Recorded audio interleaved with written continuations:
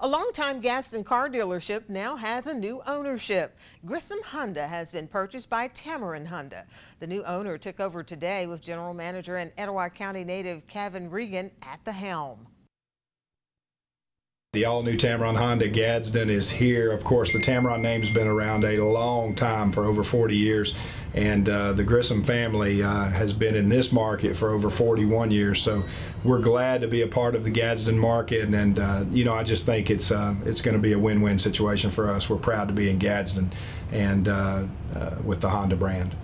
Regan has sold Hondas to the Gadsden Anniston territory for more than 23 years. The new Tameron Honda in Gadsden can be reached at 256-547-9092 or visit their website at tameronhondagadsden.com.